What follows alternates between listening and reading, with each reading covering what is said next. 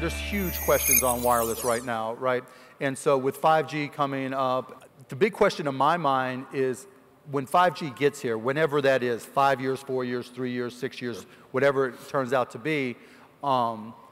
are people going to cut the cord?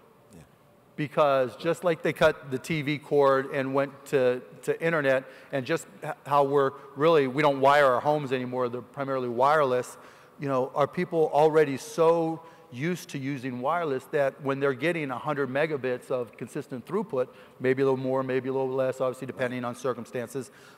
are they just going to say, what do I need this wire for?